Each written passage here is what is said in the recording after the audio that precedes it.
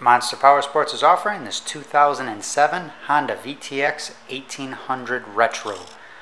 This bike does have a few extras on it. It's got a nice set of bolt-on hard leather saddlebags. It's got a passenger backrest with a luggage rack.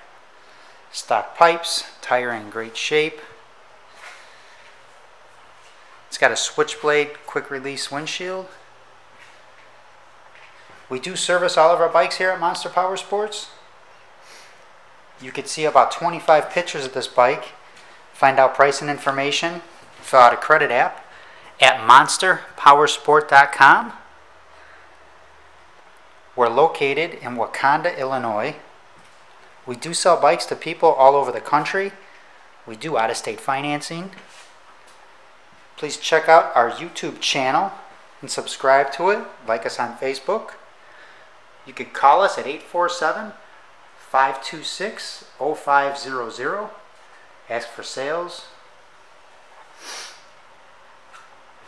Let me fire it up for you here. The miles on this bike are 21,025. It's all fresh fluids in the bike. Fuel injected.